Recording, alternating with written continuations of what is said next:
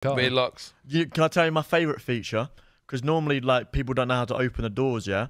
So I've got now True. Bluetooth. So when when they when I g- walk up to the car, all the handles open. Nice. It's That's fucking pretty cool, sick. isn't That's it? cool. It's fucking cool, man. I love it. I Like, I go through car weird like phases where I love it. Like right now, I love it.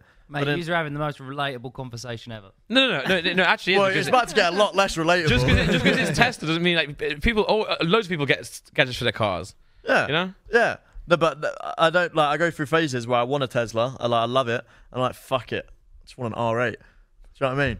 And then, like at least once every two weeks, I go and buy it. Call up my insurance, ask for uh, for them to change it.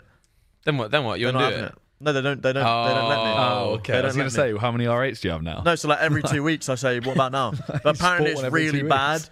Apparently, the more you ask the insurance, the more they know how needy you are, and they just keep like in- increasing. That Makes works in everything in life. That's true. Supply and demand. They're also hmm. changing the congestion charge soon in London, so electric cars have to pay it. What? What? That's bullshit. 2025 December. That's bullshit. So that doesn't make sense. End of next year, so you may as well get it. But we don't have congestion. We're electric. no, congestion's about how busy it is. Yeah. What's congestion? Like how- ULEZ and that. No. No, how many different. cars there are in the area.